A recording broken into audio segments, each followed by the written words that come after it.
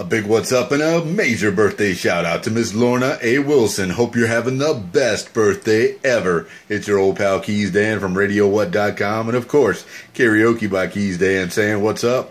Party on. I'm out of here.